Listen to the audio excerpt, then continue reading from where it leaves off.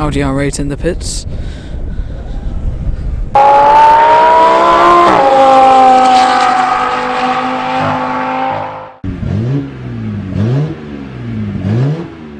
Audi R8 V10.